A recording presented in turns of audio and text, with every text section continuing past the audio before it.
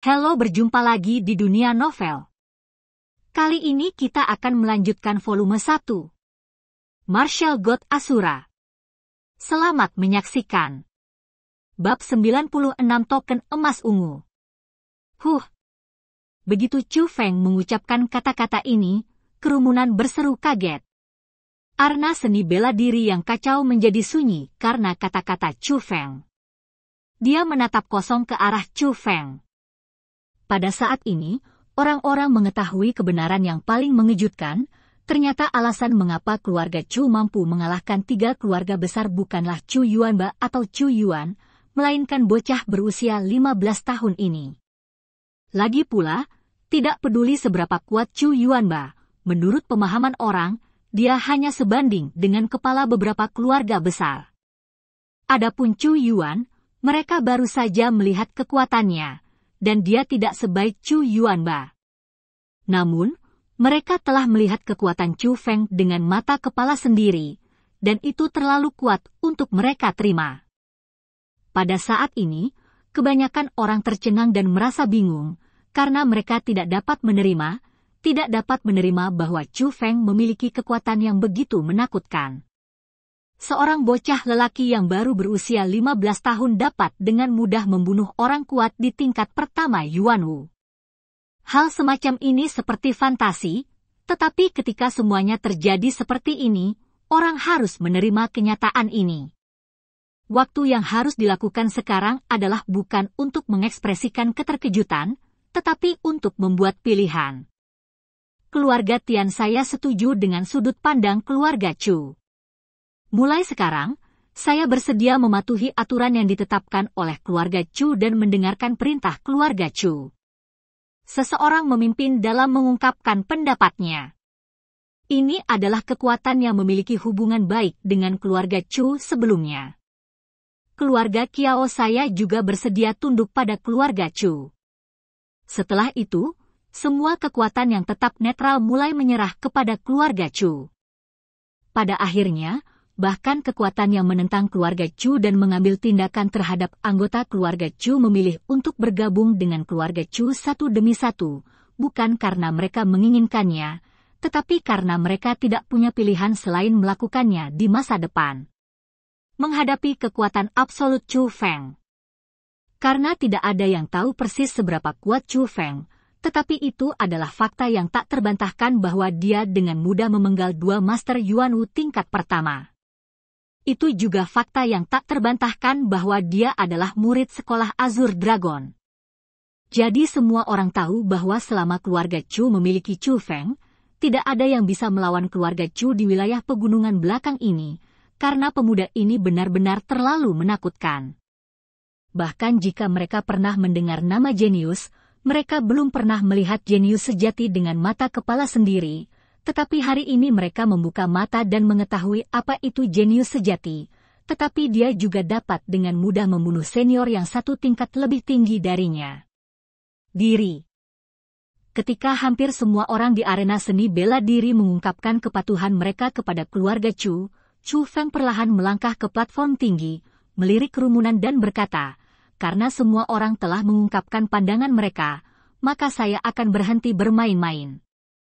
Seperti untuk semua yang ada di seluruh kota Guashan, terserah keluarga Chu saya untuk memutuskan, yang saya inginkan hanyalah dua kata, patuhi.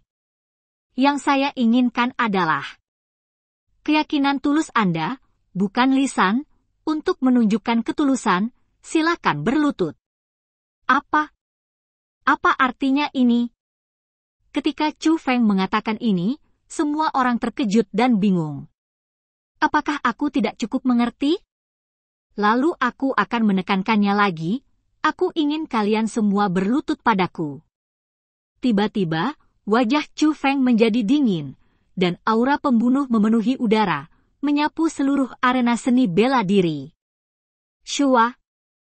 Pada saat ini, semua orang sangat ketakutan hingga tubuh mereka bergetar, mereka bahkan tidak berani ragu lagi, mereka semua berlutut di tanah secara serempak, dan di hampir seluruh arena seni bela diri, hanya anggota keluarga Chu masih berdiri.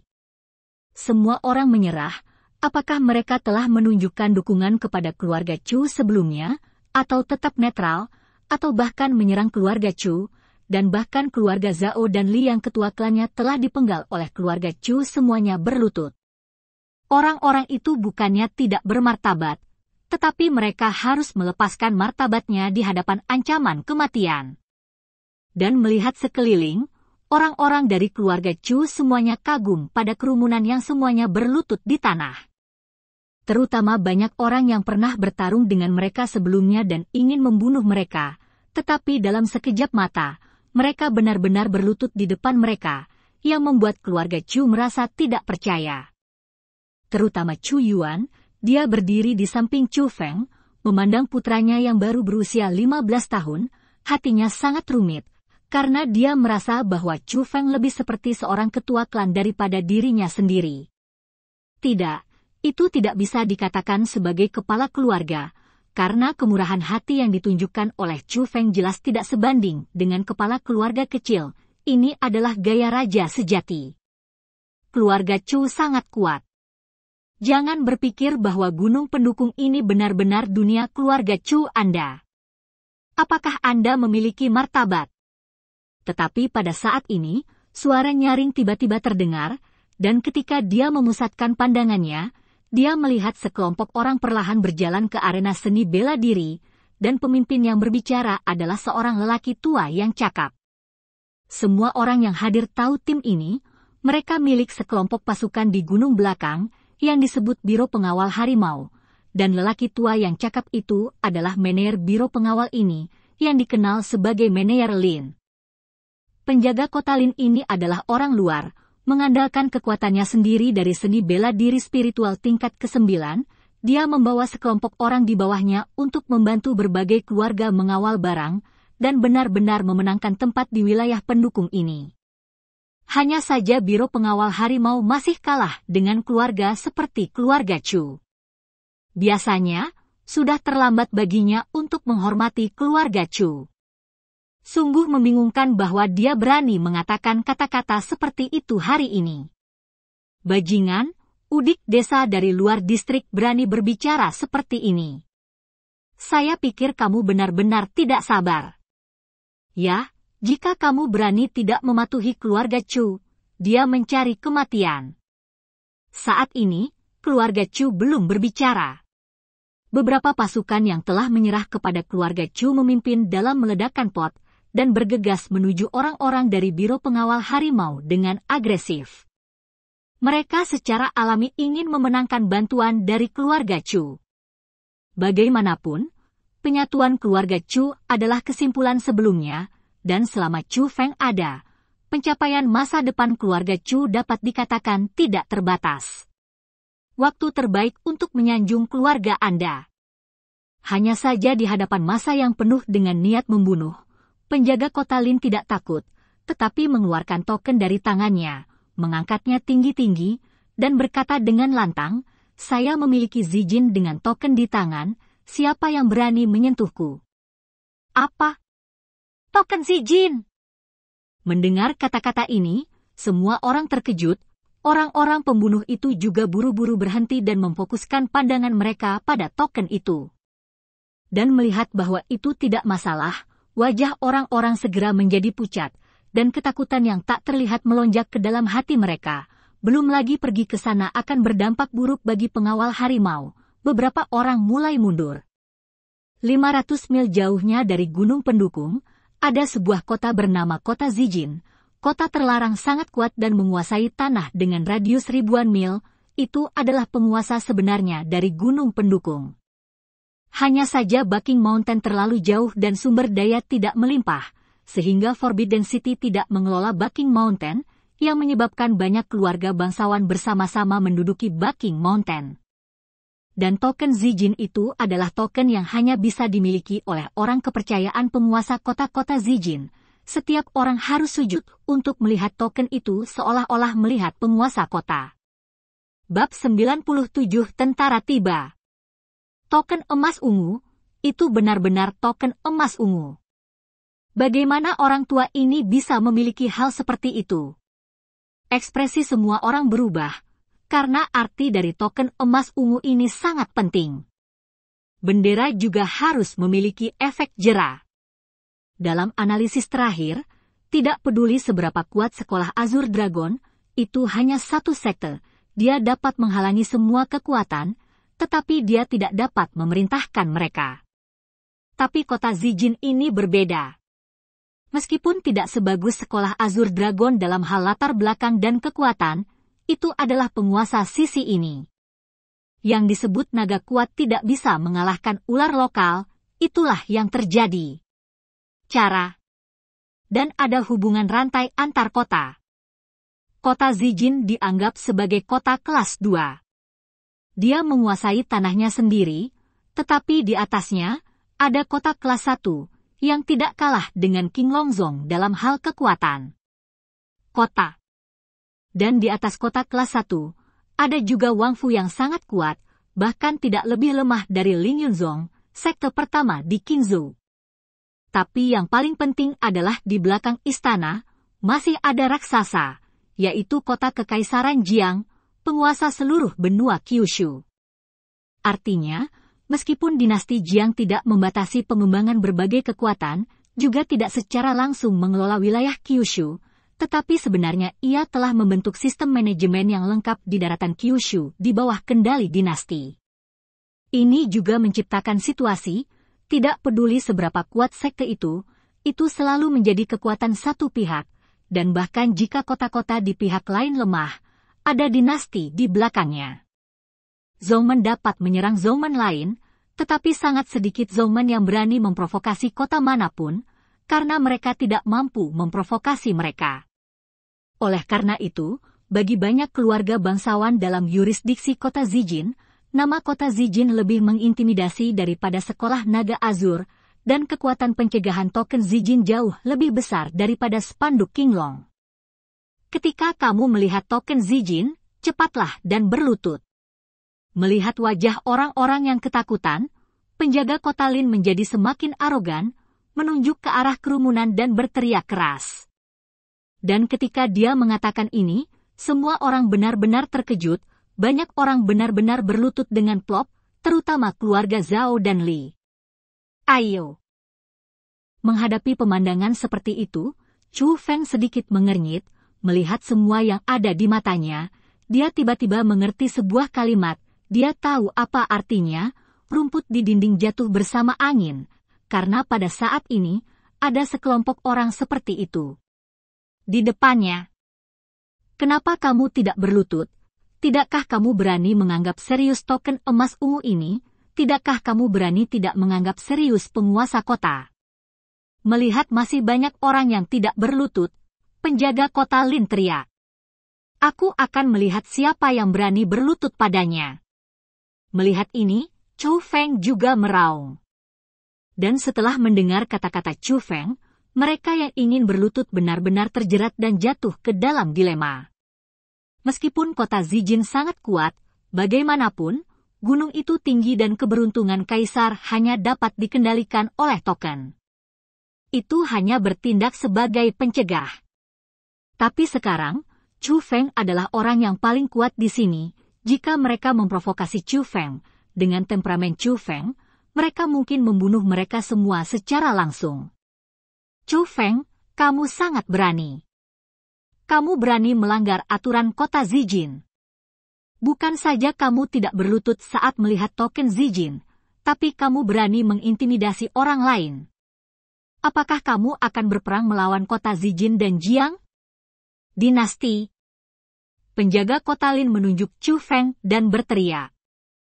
Jadi bagaimana jika kamu melawanku? Percaya atau tidak, aku akan membunuhmu sekarang, kata Chu Feng dengan dingin. Feng Er, jangan bertindak sembarangan. Token Zijinnya nyata. Kamu tidak boleh menyerangnya, jika tidak, kota Zijin tidak akan membiarkanmu pergi. Yuan-Yuan ketakutan, dan buru-buru meraih lengan baju Chu Feng erat-erat, takut bahwa Chu Feng akan bergerak melawan penjaga kota Lin. Hahaha, Chu Yuan, kamu tahu banyak. Melihat penampilan pengecut Chu Yuan, penjaga kota Lin tertawa liar dua kali, lalu berkata dengan keras, sejujurnya, Tuan Kota Zijin sudah mengetahuinya.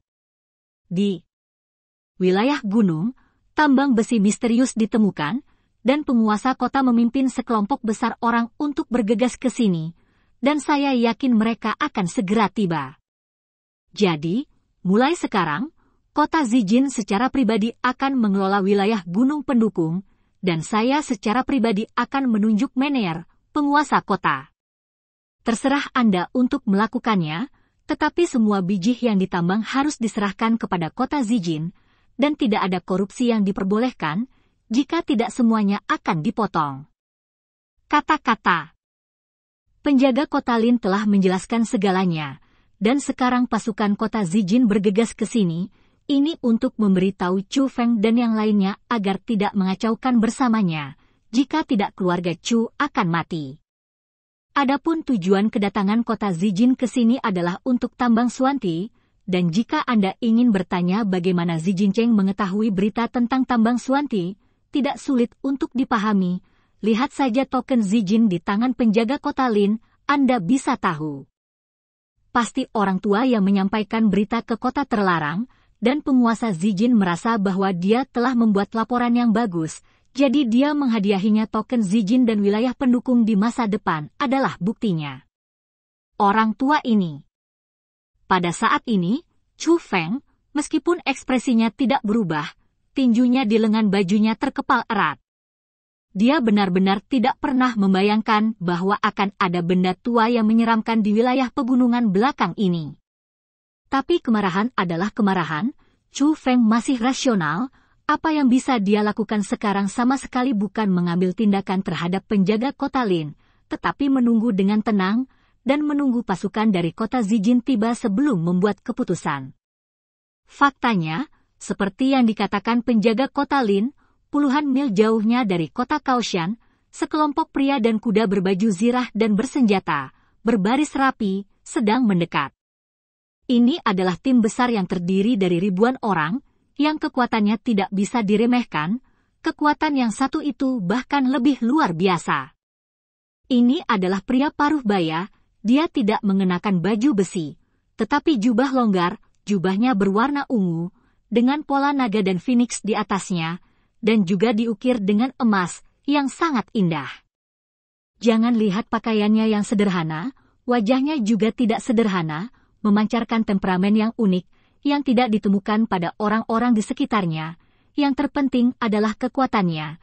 Dia sebenarnya adalah seorang Master Yuan Wu Jiu Hong saja. Selangkah lagi melangkah ke Suanu, dan dia adalah penguasa kota Zijin, Chen Hui. Baru-baru ini, kota Zijin kekurangan sumber daya, dan Chen Hui mengkhawatirkan pajak upeti dari atas.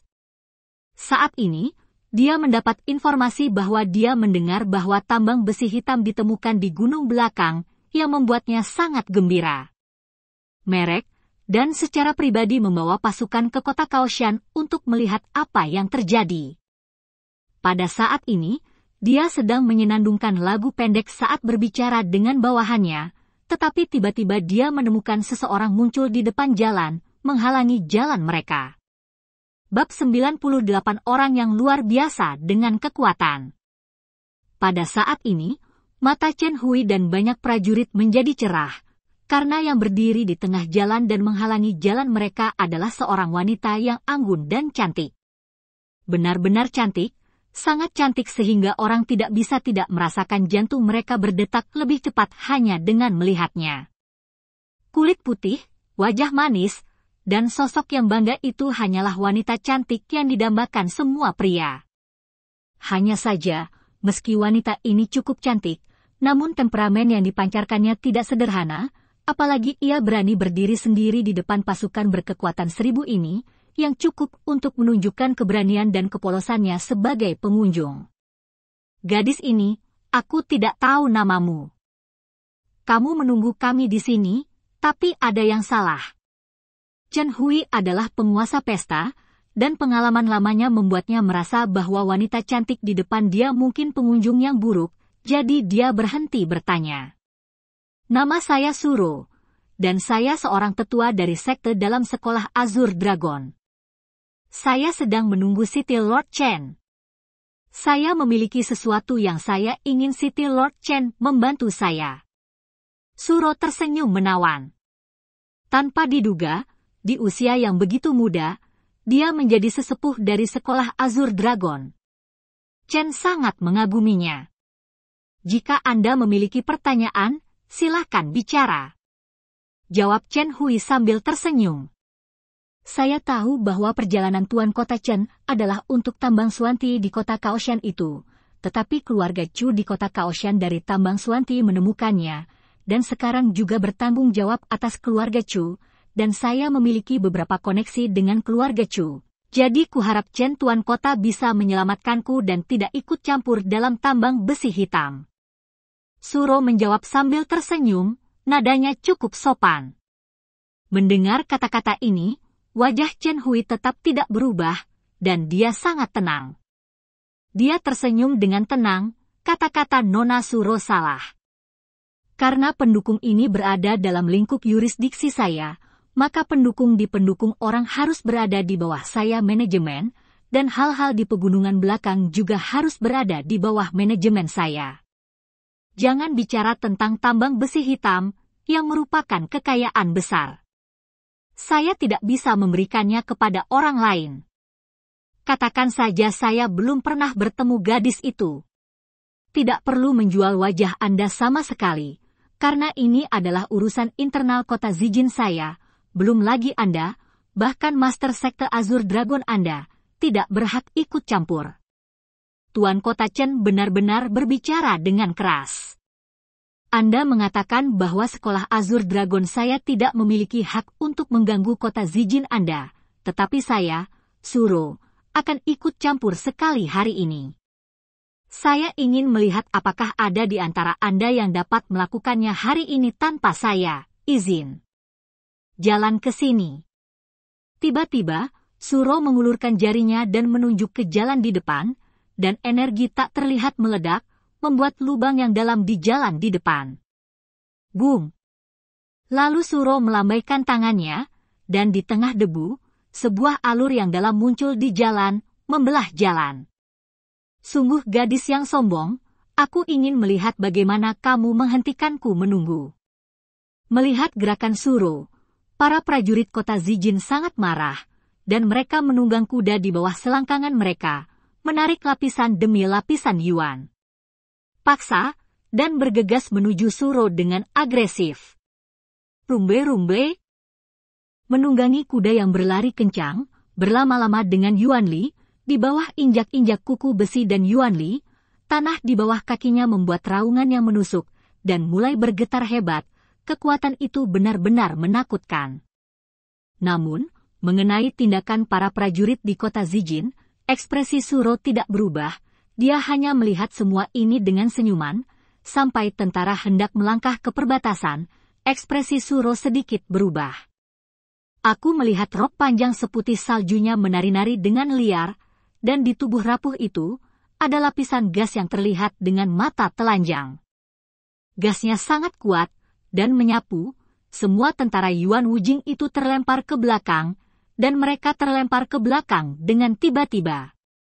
Alam Suanu pada saat ini, mata Chen Hui berbinar, karena dia sudah merasakan bahwa aura yang dipancarkan Suro sekarang bukanlah Yuan Li, tetapi Suan Li.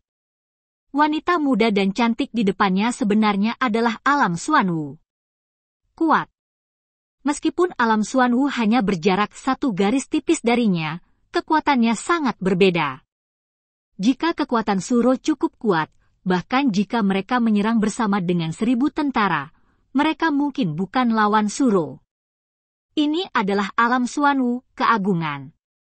Dahulu kala, ada seorang pria kuat di puncak alam Suanu yang menghancurkan sekte kelas 2 sendirian. Anda harus tahu bahwa sekte kelas 2 tidak hanya memiliki ratusan ribu murid, tetapi juga pria yang kuat dari alam Suanu yang bertanggung jawab di depannya, dia masih rentan. Oleh karena itu, Ketika Chen Hui mengetahui bahwa Suro ternyata adalah penguasa alam Suanwu, ekspresi kekhawatiran akhirnya muncul di wajahnya yang tenang, dan dia berkata dengan sungguh-sungguh, saya tidak pernah berpikir bahwa Nona Suro akan begitu kuat. Itu yang kuat memang bisa menghentikan kita. Masa depan.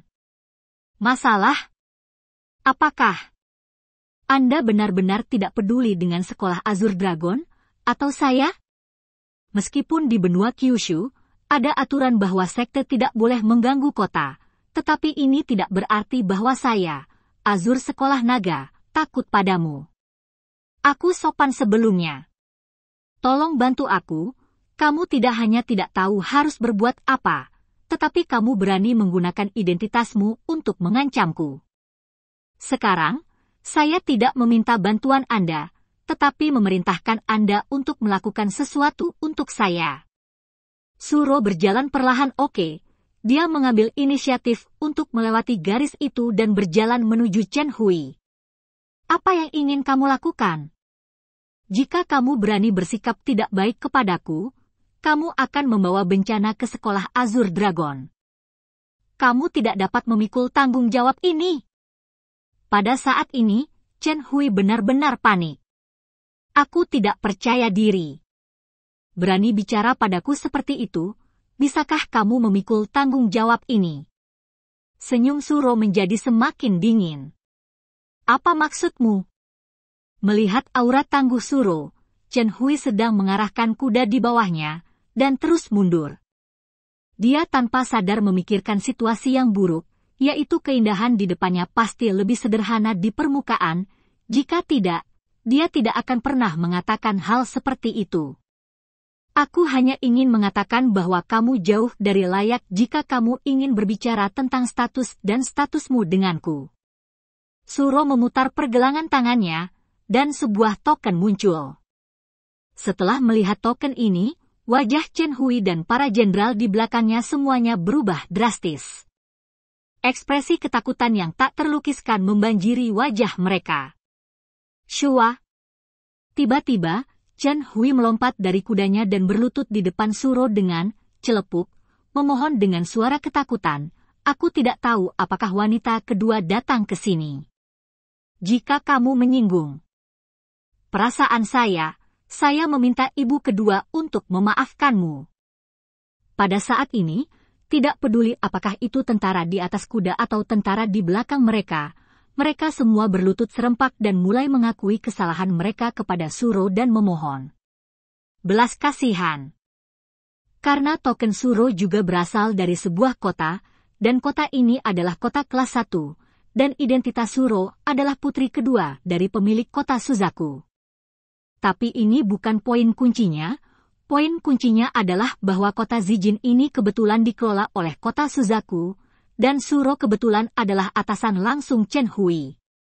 Bab 99 Hadiah dan Hukuman Di arena seni bela diri keluarga Chu, ada keheningan, dan suasana tegang mencapai puncaknya. Karena orang sudah bisa melihat debu beterbangan di kejauhan, dan bisa mendengar raungan kuda perang di kejauhan, dan pasukan kota Zijin telah tiba.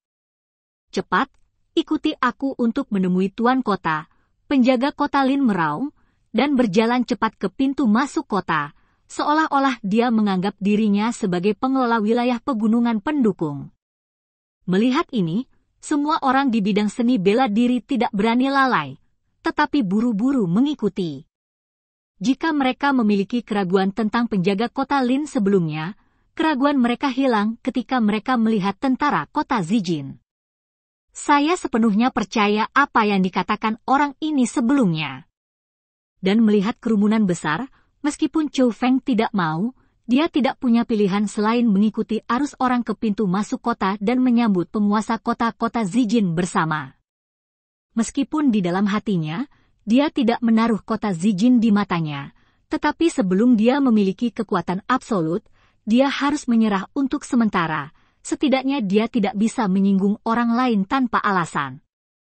Chou Feng, kamu, anggota keluarga Chu, tidak berlutut ketika kamu melihat token Zijin barusan. Aku akan melaporkan masalah ini kepada tuan-tuan kota. Ketika kami sampai di pintu masuk kota, penjaga kota Lin berkata ke Chu Feng dengan dingin. Terserah kamu. Chu Feng meliriknya, terlalu malas untuk menghabiskan banyak waktu dengan penjahat yang sukses ini. Hem, kamu harus menderita nanti, penjaga kota Lin juga mendengus dingin, dan seringai di sudut mulutnya menjadi semakin intens. Gemuruh, di bawah mata banyak orang, suara gemuruh semakin dekat dan dekat, dan orang-orang segera melihat sosok tentara kota Zijin di dalam debu. Melihat tentara kota Zijin yang berlapis baja dan teratur, hampir semua orang dikejutkan oleh momentum tersebut. Tetapi pada saat ini, mereka yang berseteru dengan keluarga Chu diam-diam bahagia di hati mereka, berpikir bahwa sebagian besar orang dari keluarga Chu akan menghadapi bencana, pikirkan saja tentang penampilan arogan Chu Feng sebelumnya, lalu pikirkan tentang situasi yang akan dihadapi Chu Feng, mereka tidak menyebutkan betapa bersemangatnya mereka. Di bawah pengawasan semua orang, pasukan kota Zijin, dipimpin oleh Chen Hui, telah datang ke pintu masuk desa kota Kaoshan. Saya akan memberi hormat kepada tuan kota tuan. Setelah melihat ini, penjaga kota Lin buru-buru berlutut, dan pada saat yang sama, banyak orang yang hadir berlutut, bahkan semua orang di keluarga Chu juga berlutut. Mereka tidak berani lalai, tapi hanya Chu Feng yang masih berdiri di tanah. Bol Chu Feng, Ketika kamu melihat Tuan Kota Master, cepatlah dan berlutut. Penjaga kota Lin menunjuk Chu Feng dan berteriak. Seorang pria memiliki emas di bawah lututnya. Selain orang tua dan dermawan saya, saya, Chu Feng, bahkan tidak berlutut ke langit. Bagaimana saya bisa berlutut kepada orang lain? Chu Feng mengatakan. Ini sambil menatap Chen Hui, dan di sana tidak ada bekasnya di matanya. Ketakutan, tapi sangat jujur.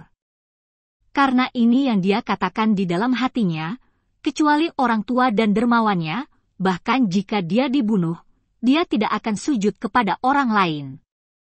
Ini masalah harga diri. Orang-orang, bahkan jika mereka tunduk, ada intinya, dan intinya Chu Feng adalah tidak apa-apa untuk memukul dan memarahi, tetapi dia tidak akan berlutut kepada orang lain bahkan jika dia dipukuli sampai mati.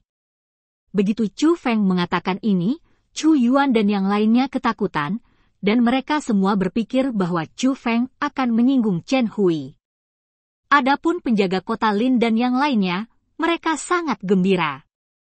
Meskipun mereka tahu bahwa Chu Feng berani, mereka tidak berharap begitu berani. Ini hanya memprovokasi Chen Hui dan menampar wajah Chen Hui di depan semua orang.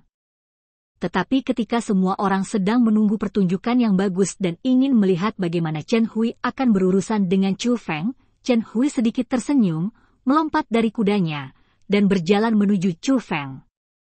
Pada saat yang sama, beberapa jenderal di belakangnya juga melompat dari kudanya, mengikuti di belakang Chen Hui, dan berjalan menuju Chu Feng kamu adalah Chu Feng. Chen Hui menatap Chu Feng sambil tersenyum, dan ada sentuhan penghargaan di matanya. Ini aku. Chu Feng tidak rendah hati atau sombong. Benar saja, itu adalah pahlawan yang lahir di usia muda. Sangat jarang memiliki aura seperti itu pada usia seperti itu. Mengenai sikap Chu Feng, Chen Hui tersenyum alih-alih marah, dan kemudian melirik keluarga Chu di sekitarnya, yang mana milik Chu Feng. Ayah. Kembali ke tuanku, Chu Yuan adalah ayah Chu Feng. Anak itu masih kecil dan mungkin berbicara terlalu belak-belakan. Saya harap tuanku akan memaafkan saya. Pikir Chu Yuan bahwa Chen Hui akan menjadi tidak menguntungkan bagi Chu Feng, jadi dia buru-buru menggantikannya. Chu Feng memohon belas kasihan. Hei, apa yang ketua klan Chu katakan? Kamu beruntung memiliki anak laki-laki seperti itu, dan itu juga merupakan berkah dari kota Zijinku. Anak laki-laki ini harus dikultivasikan dengan baik. Jadi aku menghadiahi anakmu. Chu Feng dengan seribu manik-manik roh, sehingga kultivasinya dapat melangkah lebih jauh, dan dia akan memenangkan kejayaan untuk kota Zijin saya di sekolah Naga Azur. Mengenai tambang besi hitam, keluarga Chu Anda akan bertanggung jawab untuk menambangnya. Anda tidak perlu melakukannya serahkan kota Zijin kepadaku, itu semua. Milik keluarga Chu Mu, untuk tidak mematuhi saya, Chen Hui, saya akan menanganinya sesuai dengan hukum, dan saya tidak akan pernah menunjukkan belas kasihan. Suara Chen Hui sangat keras, dan selain kesunyian di sekelilingnya saat ini, semua kata-katanya adalah jelas tercetak di telinga semua orang. Dan pada saat ini, Kecuali orang-orang di kota Zijin, hampir semua orang terpana dan terkejut, belum lagi penjaga kota Lin, yang ingin melihat keluarga Chu mempermalukan diri mereka sendiri, bahkan Chu Yuan dan keluarga Chu juga bingung. Kewalahan. Apa yang sedang terjadi di sini? Tuan kota Zijin, tidak hanya tidak menghukum keluarga Chu karena sikap Chu Feng, tetapi bahkan menghadiahi Chu Feng dengan seribu manik-manik roh, seribu manik-manik roh. Belum lagi, biji besi misterius juga diserahkan kepada keluarga Chu untuk dibuang. Nilai biji besi misterius itu jauh lebih dari seribu manik-manik roh. Jika semuanya ditambang, nilai absolutnya puluhan ribu manik-manik roh, yang merupakan properti tak terukur. Yang terpenting adalah keluarga Chu masih menguasai wilayah pendukung. Apa yang terjadi? Jika keluarga Chu yang bertanggung jawab atas tempat ini, Lalu apa penjaga kota Lin? Tuanku, ini, kamu bukankah kamu mengatakan sebelumnya bahwa wilayah gunung pendukung akan dikelola oleh pengawal harimauku? Berdiri, dia dengan gemetar berjalan di depan Chen Hui, dan bertanya dengan nada suara rendah dengan nada malu-malu itu. Melihat ini, wajah Chen Hui sedikit berubah, dan dia memandang penjaga kota Lin dengan acuh tak acuh, dan berkata, kamu berperilaku buruk dan tidak layak melayaniku, kemarilah, ambil kembali token emas ungu orang ini, tarik ke bawah dan potong itu. Bab 100 Begitu Chen Hui memberi perintah, kedua jenderal itu bergegas mendekat, menarik penjaga kota Lin, dan menyeretnya menjauh dari kerumunan. Tuanku, tolong selamatkan hidupku. Tuanku, tolong selamatkan hidupku. Ini membuat penjaga kota Lin ketakutan, tetapi tidak peduli berapa banyak dia memohon belas kasihan, baik Chen Hui dan kedua jenderal itu tetap tanpa ekspresi. Setelah kedua jenderal menyeretnya ke ruang terbuka, salah satu dari mereka mengeluarkan pedang berharga dari pinggangnya, mengangkat pedang di tangannya dan membuat klik, dan kepala penjaga kota Lin jatuh ke tanah. Huh! Adegan ini benar-benar membuat semua orang ketakutan, hampir semua orang kaget, bingung, merasa bingung. Tuanku.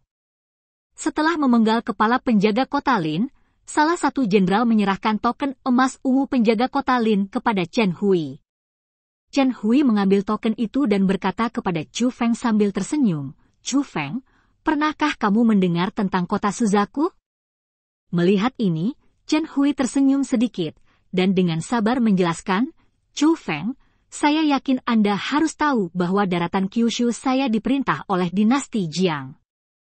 Untuk memerintah Kyushu dengan lebih baik, dinasti Jiang menyerahkan Kyushu ke sembilan istana yang bertanggung jawab, dan yang mengatur Kingzhou saya adalah Istana Kilin.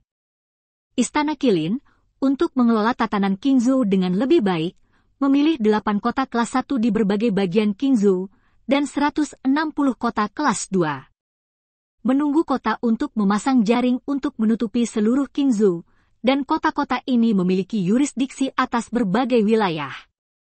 Kota Zijin saya adalah kota kelas 2, dan yang bertanggung jawab mengelola kota terlarang saya bukanlah Kilin Istana, tapi kota kelas 1. Kota-kota Suzaku. Mendengar kata-kata Chen Hui, Chu Feng memang memiliki konsep baru tentang berbagai kekuatan di Qingzhou. Zhou Feng selalu berpikir bahwa dinasti Jiang adalah penguasa daratan Kyushu, dan berbagai sekte menguasai semua wilayah. Dia berpikir bahwa sekte Lingyun, sekte nomor satu di Qingzhou, memiliki keputusan akhir di Qingzhou, tapi sekarang tampaknya ini jelas bukan masalahnya.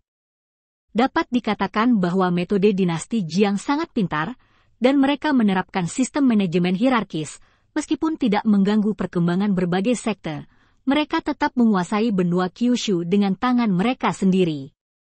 Jika Kingzhou dibagi menjadi delapan arah, maka manajer puncak wilayah kita adalah kota Suzaku. Sepuluh hari kemudian, kota Suzaku akan mengadakan konferensi rookie. Tetapi batas usia harus di bawah 18 tahun. Meskipun teman kecil Chu Feng masih muda, dia dapat dianggap luar biasa di antara junior di kota terlarang saya, jadi saya ingin teman kecil Chu Feng mewakili kota Zijin untuk berpartisipasi dalam konferensi rookie tahun ini. Chen Hui terus berbicara. Apakah ada manfaat bagi saya untuk berpartisipasi dalam konferensi pemula ini? Tanya Chu Feng. Jika kamu hanya berpartisipasi, sebenarnya tidak ada manfaatnya, tetapi jika kamu bisa memenangkan tempat pertama dalam konferensi pemula ini, kamu akan diberi hadiah 5.000 manik-manik roh. Chen Hui menjelaskan. Yah, aku akan berpartisipasi. Chu Feng mengangguk. Lima ribu manik-manik roh sangat menggoda baginya. Maka masalah ini diselesaikan seperti ini. Token Zijin ini akan diberikan kepada teman kecil Chu Feng.